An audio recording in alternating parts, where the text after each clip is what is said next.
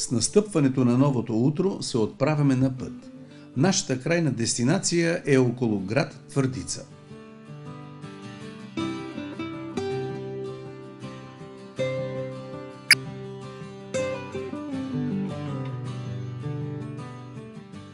Стигнахме сборния пункт. Тук ще изчакаме събирането на всички участници. Гончетата ви подсказват, че днес излитът ще е на дива свиня, вероятно най-типичният представител на едрия дивеч за България –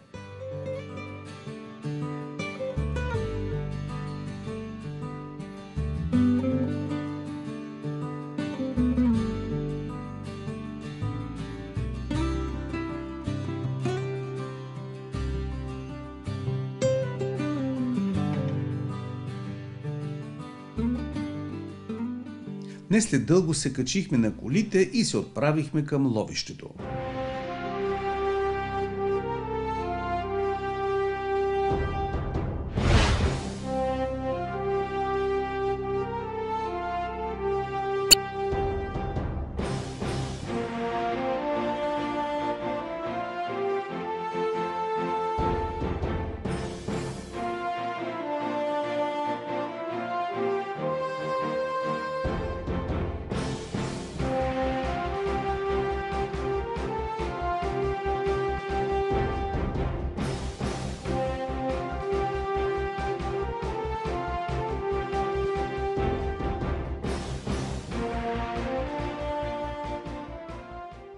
Здравейте, скъпи приятели! Днес ще ви покажем лов на дива свиня.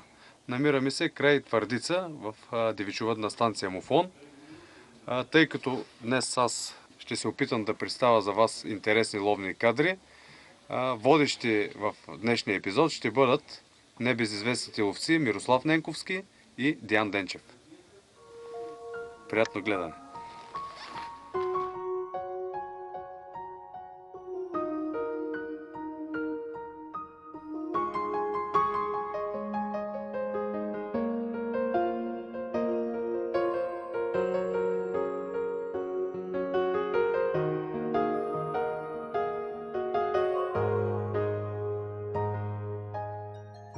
Оказахме се в една много приятна обстановка, изписана в ловни мотиви.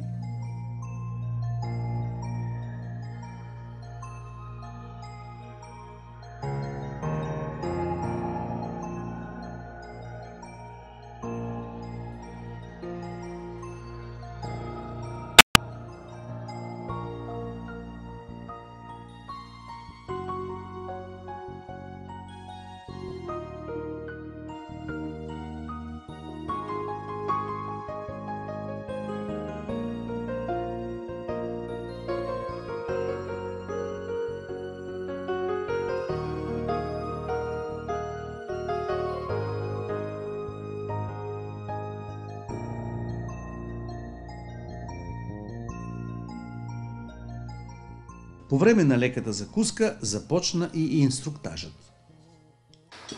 Първо да ви кажа добре дошли на сука на всички. Лува днеска е на диво прасе, основно приплоди и глигай. Условията важните за безопасността на лова, за да протече нормално до края на ловния ден е редява по щитовите и после възсъбирам от щитовите. Никой да не си слиза от местото примерно ранено прасе, да го догонва или да... Ако може да го стреля пет пъти, пет пъти, но да не напуска щита, да не направим бела с гоначки. Ако тръгнат кучета да давят ранено прасе или да спрат нещо, не слизайте да го да убивате или нещо такова, да не направим бела пък с гоначки. Крайна сметка най-важното е безопасността на всички ловци. Редим са по щитовите, всеки по-отделно ще участвам. После лично ще минем да прекратя лова стойте си по местата.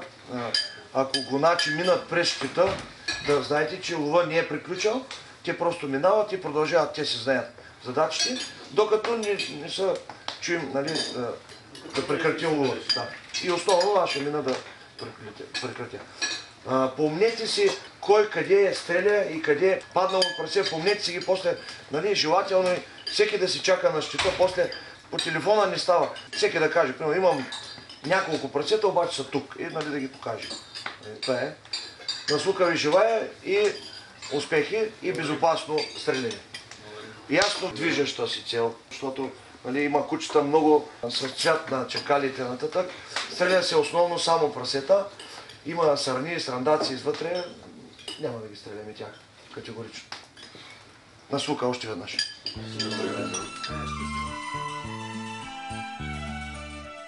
Дойде мигът на истината. Беше време да започне ловът.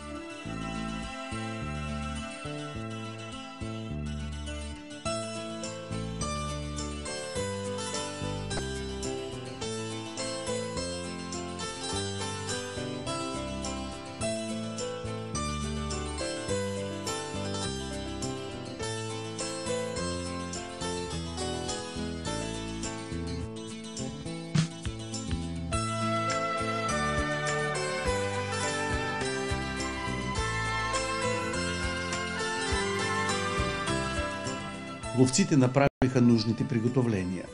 Кучетата бяха ентусиазирани. Съвсем скоро групата тръгна по пътеката.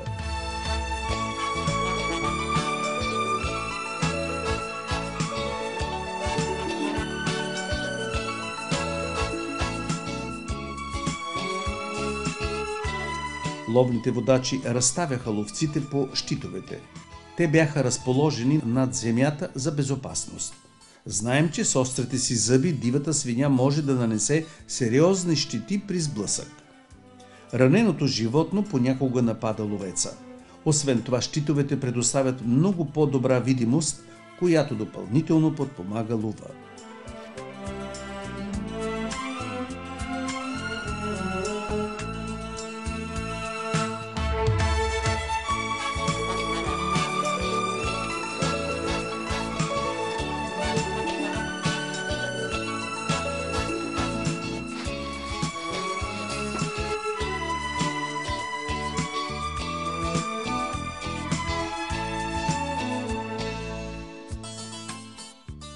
Всеки пост беше различен по същност – дерета, храсти, пътеки. Нашият гид обясняваше основните пътища на животните за всяка позиция.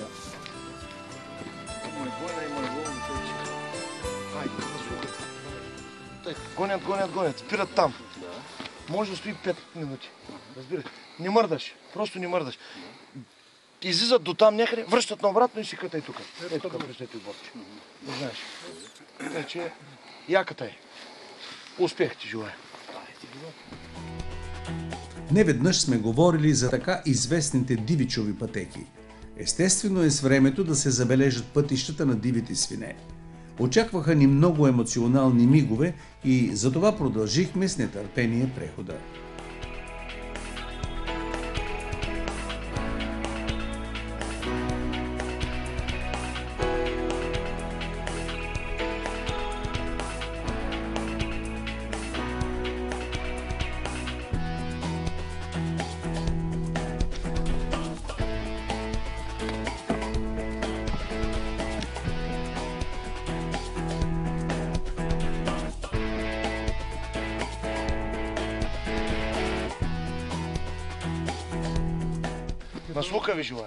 Настъпи моментът да се разделим. Иво и Диан продължиха нагоре към следващите щитове.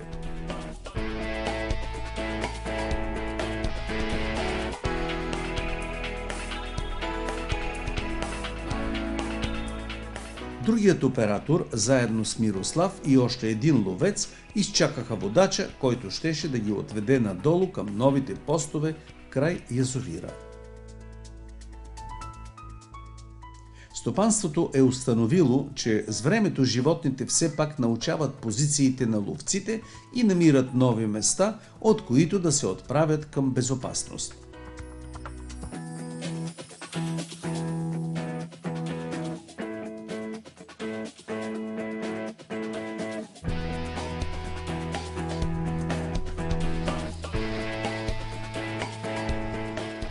Прошепвахме си тихо на слука и продължавахме.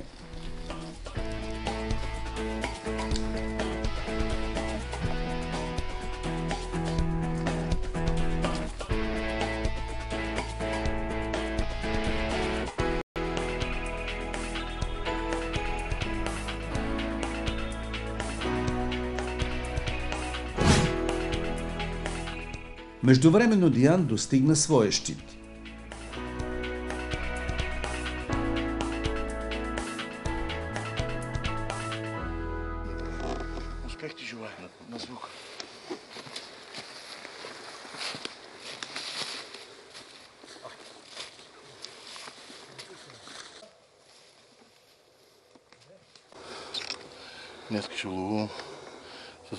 карабина 9,3 по 74. Сериозен патрон. Не съм ловувал с нея още. Нямам слука с нея. Да видим дали ще е къде, къде млийка. На едър лоб сме. Днес ще се стреля само по дива свиня. Мъжки и приплоди. Съществуват множество различни калибри. Всеки ловец решава какви са обектите и дистанциите, по които стреля. Въпреки това, в следващите минути ще се убедите, че калибър 9,3 по 74 предоставя мощен и чист изстрел, подходящ за дивата свиня, без излишно разкъсване на тялото й.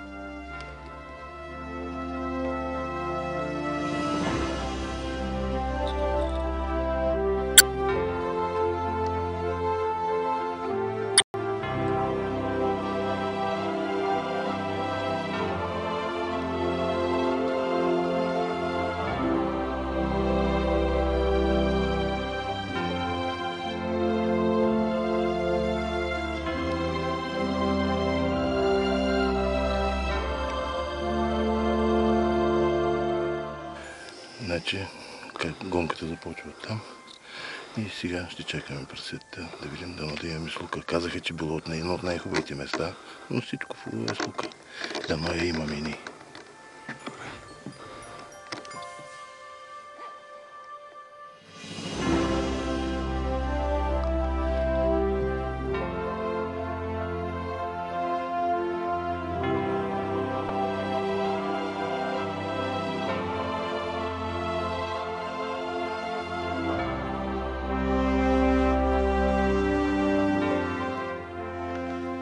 Постът на Миро позволява стрелба във всяка посока. Знаем къде се намира най-близкия щит, останалите са зад хребета. Теренът е изключително интересен. Очакваме животните да минат странично от двете ни посоки, както и да слизат от ската, ако са били пропуснати от други ловци.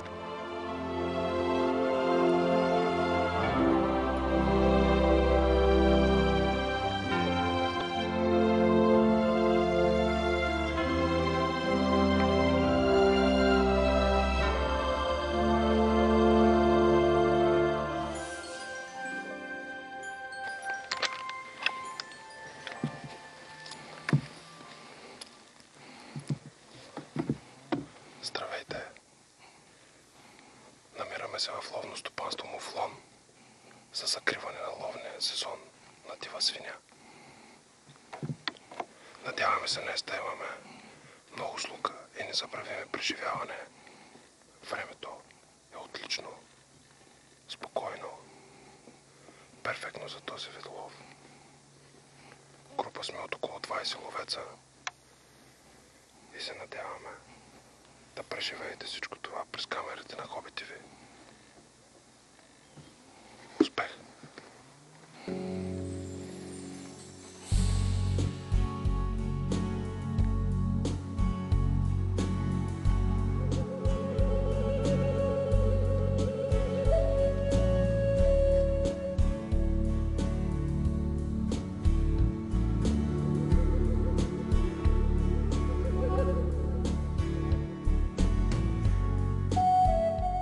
Дивата свиня е изключително приспособима. Притежава едно от най-широките за наземно животно разпространение по света. Естествената й популация се простира из Африка, Европа и Азия, включително и островните страни. Човекът допълнително я пренася в части на Америка, Австралия и Нова Зеландия. Наблюдава се в най-различни местообитания, но вероятно най-предпочитаното е широколистната гора. Броят на дивите животни е изключително висок по целия свят и затова тя не е застрашен вид. Тези животни са всеядни. Освен семената, плодовете и листата на растенията, чести гости в тяхното меню са множество яйца, мишки, гущери и змии. Зрението на дивите свине е слабо. Очите им различават единствено синьото от основните цветове. Това обаче е заради нощният им начин на живот и не е особено голям недостатък. Затова пък имат изключително обоняние, което им позволява да надушат храната дълбоко под земята.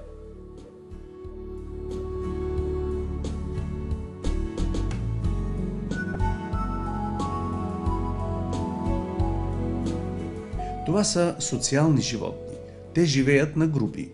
По принцип, групата се съставлява от две-три майки и техните малки, но нерядко са забелязвани и огромни сюрии, мечта за всеки ловец. Мъжките живеят по самотение през по-голямата част от годината, като се събират на групи само по време на брачния сезон. Животните имат добър слух и често комуникират с разнообразни звуци.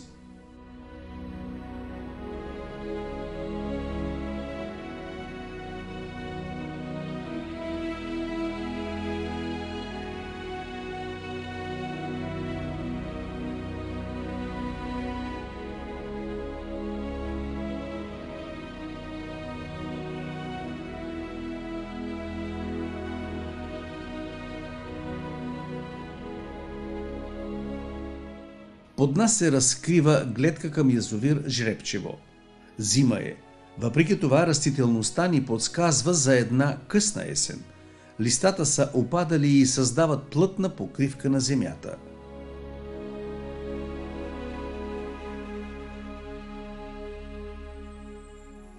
От другата страна гоначите тръгнаха и така нашето чакане започна – Предстоят ни няколко часа търпеливо стоене в очакване на дивата свиня.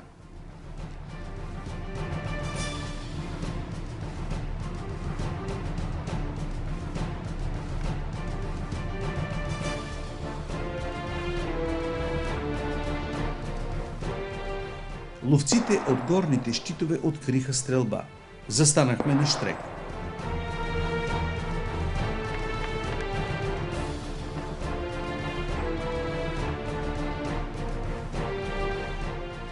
Миро забеляза тичащият под щита приплод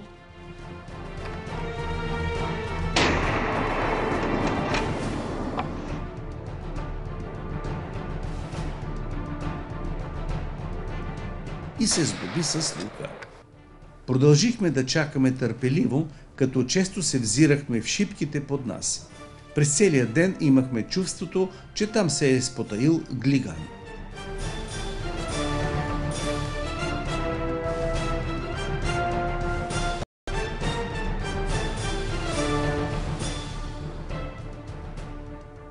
Оказа се, че едни от първите изстрели са били на Диан. Още с започването на гонката от лявата му страна излиза приплод. Първият изстрел поразява целта, веднага след това още две прасета започват да изкачват склона, но вторият изстрел е отзад. Животните бързо намират укритие в гората, докато ловецът презарежда. Независимо от това, слуката е на лице и за двамата ни основни участника в днешния филм.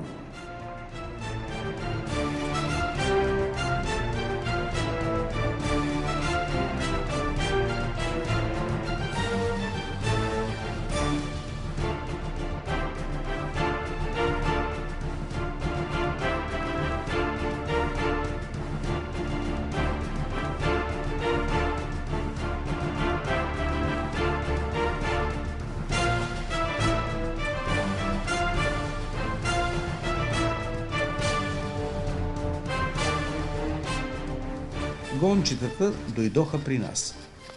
Явно усетиха животни в гъстото.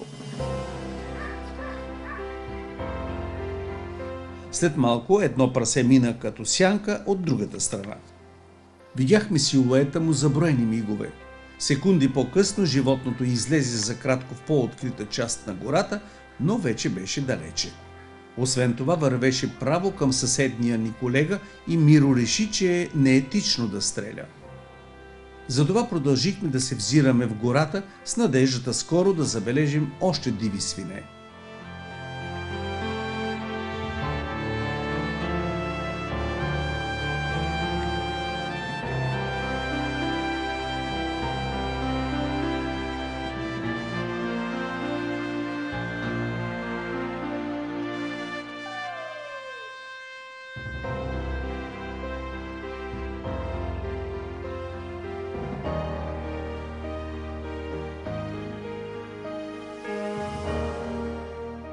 При Диан действието продължаваше. Още един приплут излезе пред щита, като направи грешка. Спря и се услуша. Бързата реакция на ловеца го дари с още един успешен изстрел.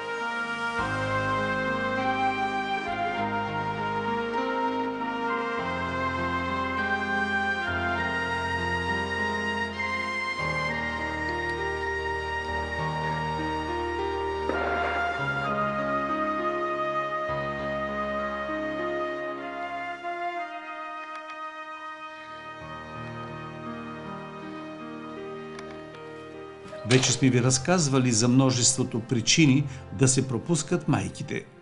За запазването на популацията са нужни грижи и етично отношение и от страна на ловеца. Всяка група диви прасета има собствена територия, достигаща до 20 квадратни километра. Те не биха излезнали от тези граници, освен когато храната е на привършване. Историята е показала, че в този случай могат да се наблюдават животни дори на най-неочаквани места.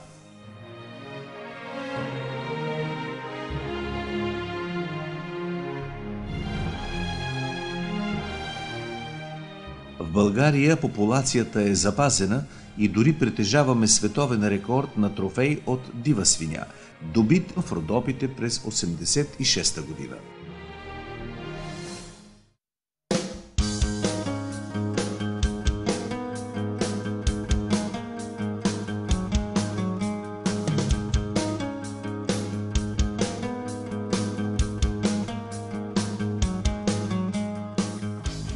След около час видяхме как по склона се спуска сюрия прасета.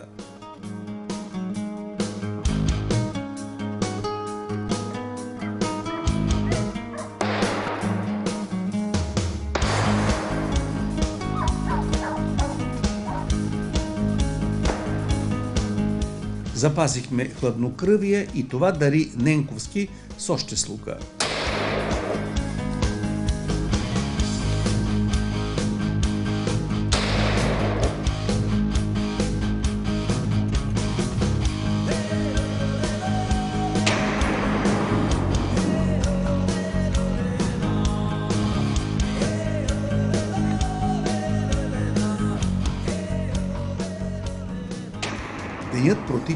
Много успешно.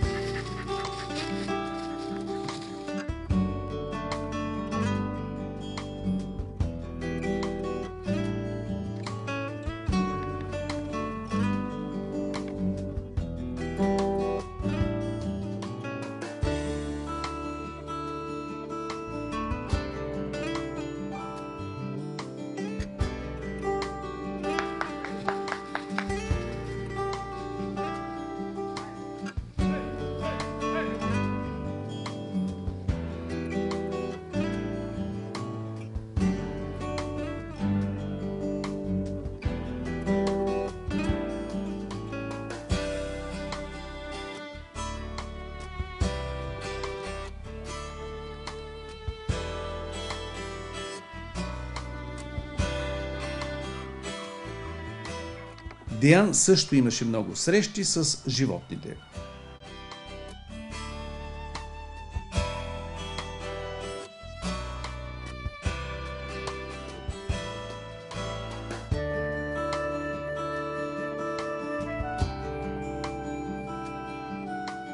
Всичко в лова обаче е слука. Животното подскочи като опарено и се скри отново в гората.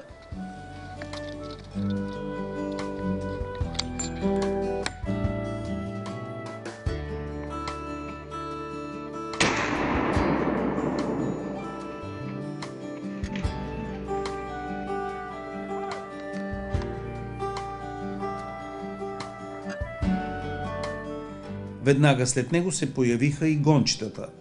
Именно на тях трябваше да сме благодарни за успеха на днешния лов.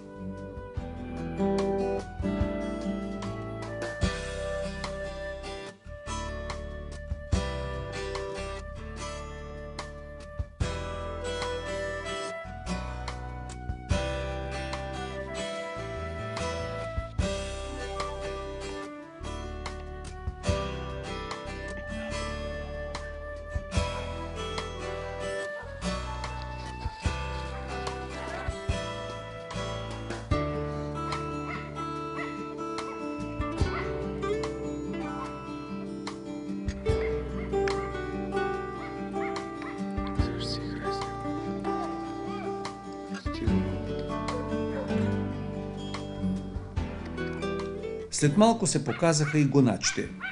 Това обаче не поставяше край на ловния ни излет.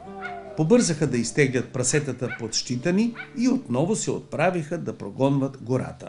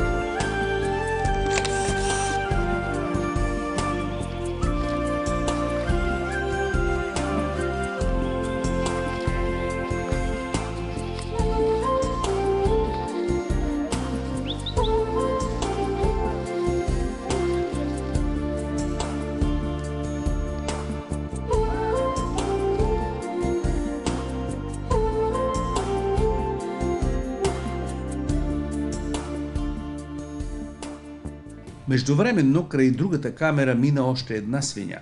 Животното започна да се изкачва и пое на срещен изстрел, който го спря на място.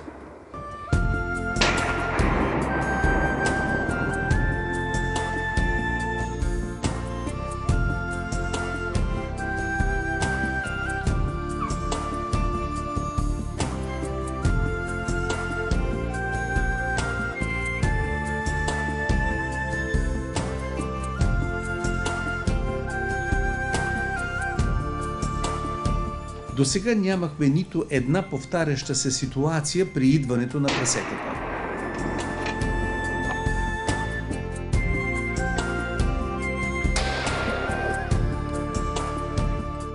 Минаваха от всички посоки и това ни държеше в кондиция.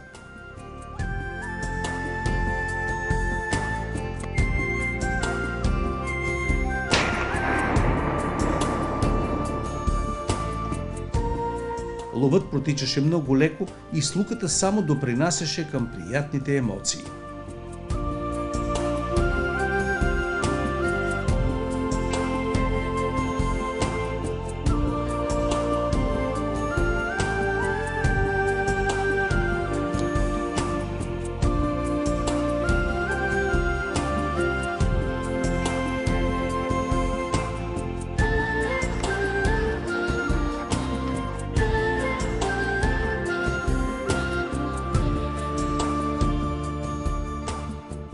През 17 век се превръща в изчезнал вид за Великобритания заради масовия лов и сеч на горите. През последния век еколозите усилено размножават едни от най-старите видове на дивата свиня, но не от носталгия, а заради по-добрата имунна система и шансове за оцеляване от тези на модерното диво прасе. Заради сериозното разселване на хибриди из Европа най-вече по стопанства се наблюдават някои странности дори в физическия облик на прасето. Старите породи се пазят яростно, тъй като поколенията им показват по-добри способности за намиране на храна и живот в тежки условия. Използват се често и в развъдническите програми за намаляване на болестите от дивата свиня.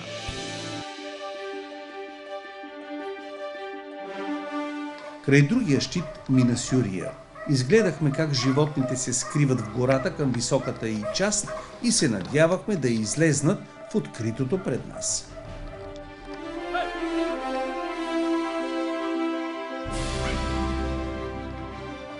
Чакахме притаили дъх, но това така и не се случи.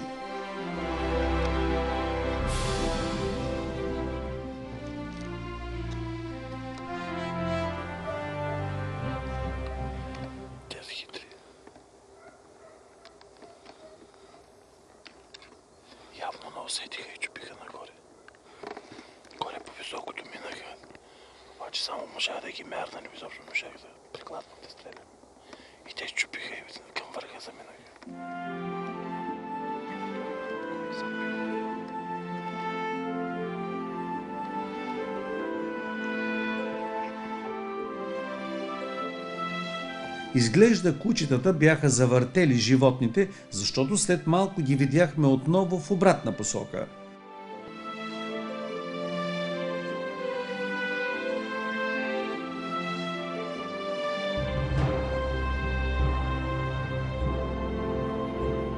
Следваха стриктно своите пътища, старайки се да избягват ловците.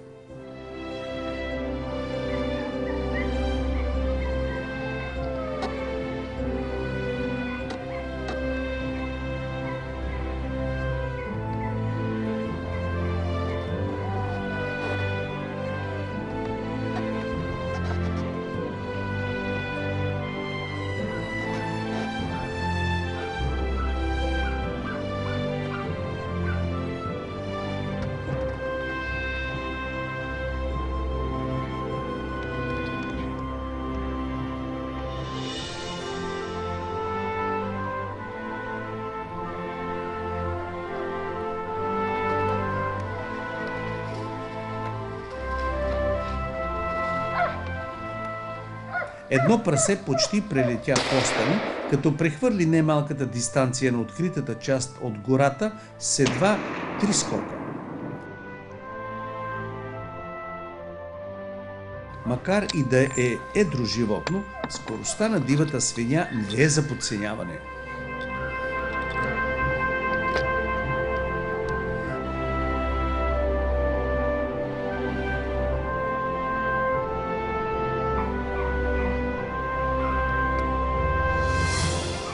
Продължихме да оглеждаме пътеките.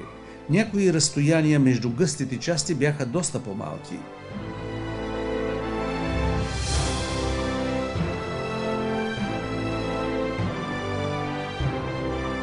Затова Диан чакаше в готовност, когато излезе следващото прасе.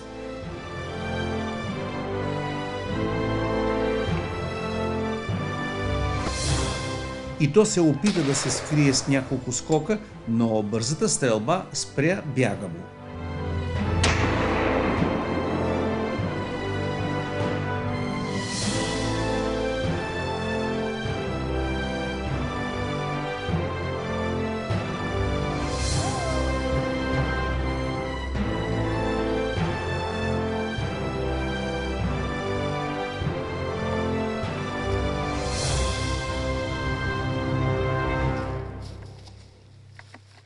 Сякаш по поръчка минаха гоначите, които изтеглиха прасето до постани.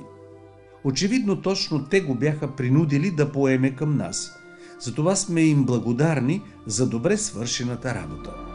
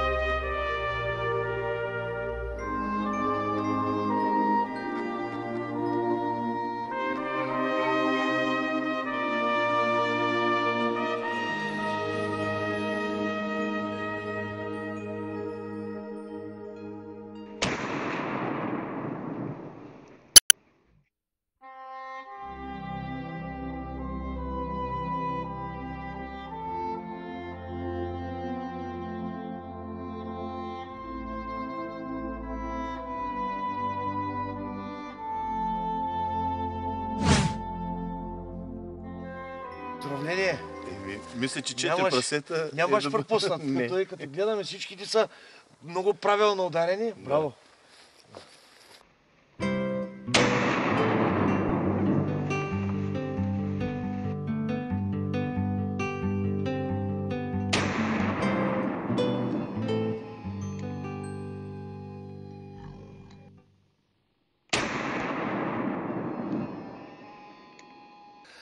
Винаги дава резултати на седлото, на стръмното, на другата просека. По принцип тук стрелба има и в случая има и много добри резултати. Предния, предния стрелец беше с малко по-слабен, но, но винаги има резултат. Браво, поздравление.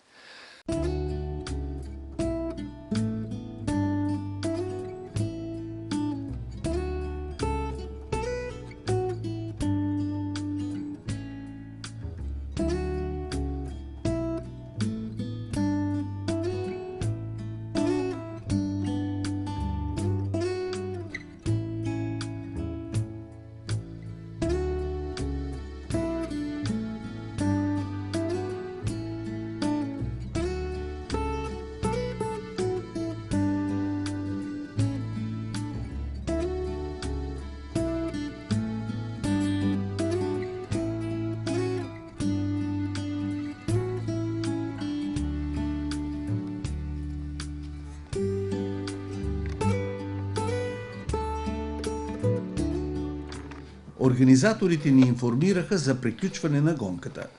Миро се зае с изтеглянето на отстреляните животни до щита му.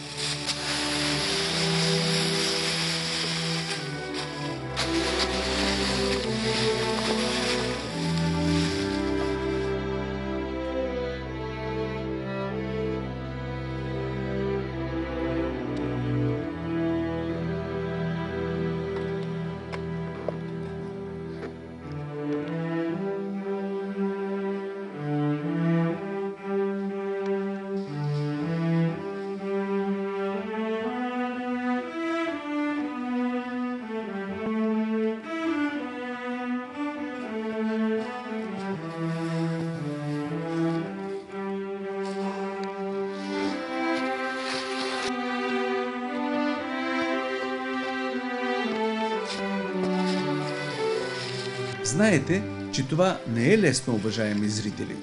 Изискват се доста сили и енергия, за да се издърпат животните по стръмния склон.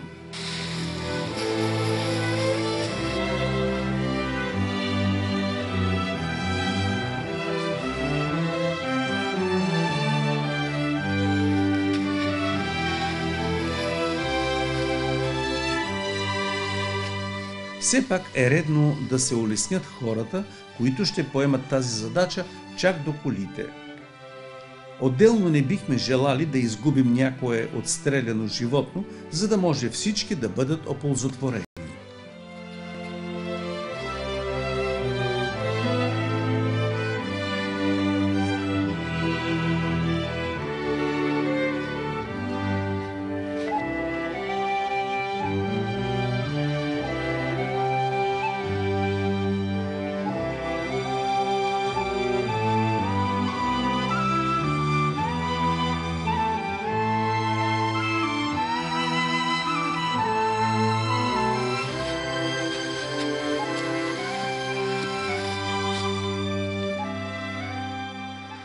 Винаги продължава.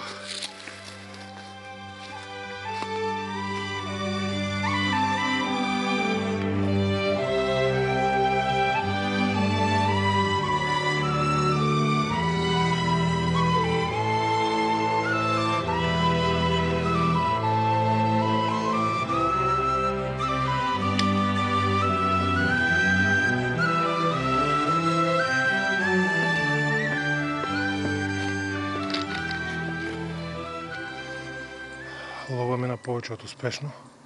Имахме изключително добра слука. Аз лично успях да отстрелям 4 прасета. Перфектно организиран до този момент лов. С много емоции. Минаха 8 пъти, 9, извинявам се, през мен прасета. 5 групи и другото беше единични животни.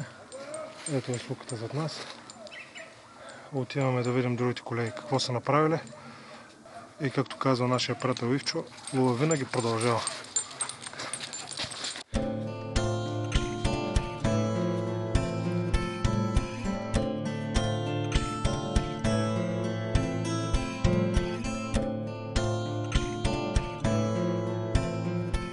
Голяма част от ежедневието, когато не търсят храна, прасетата лежат в така наречените калища. Това е важна рутина, която им помага да се пазят от паразити и да предпазват необичайно чувствителната си кожа от слънцето.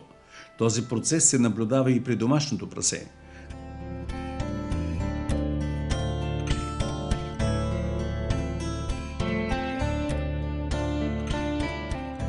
На път обратно към колите срещнахме кучета, натиснали ранено прасе.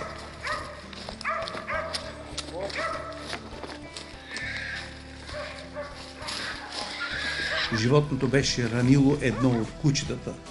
Наложи се Миро да приколи прасето.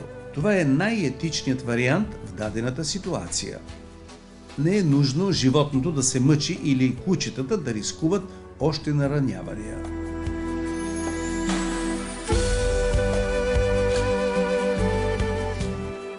Нямаше друг начин, освен нашият герой, да се заеме с задачата да изтегли и това прасе до пътя.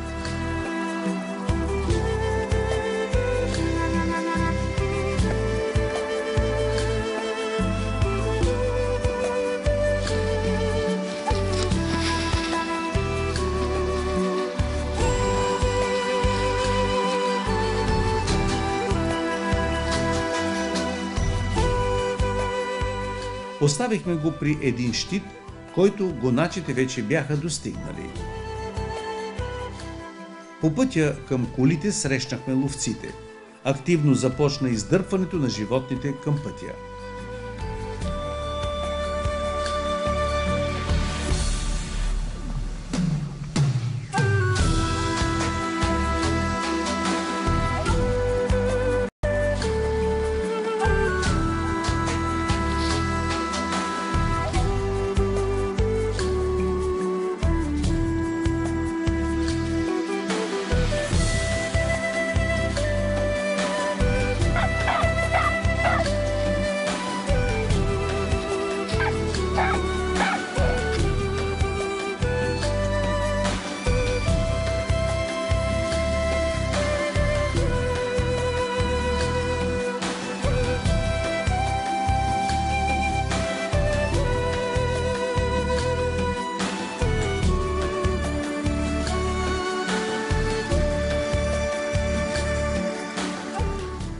Се качихме обратно горе над язовира, където слънцето беше изгряло, за да разкрие пред нас красивия пейзаж.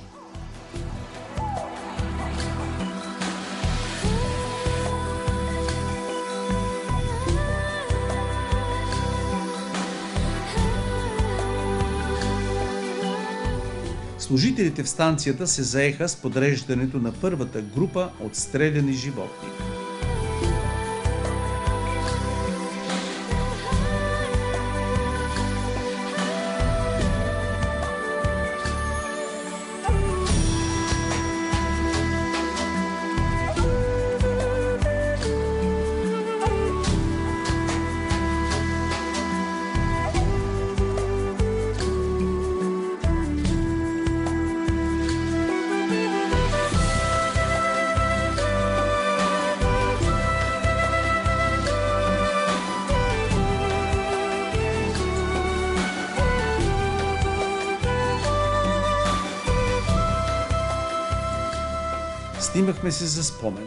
За съжаление ни очаква дълъг път към другия край на България, където ще ловуваме за вас на следващия ден. Затова не изчакахме нареждането на всички животни.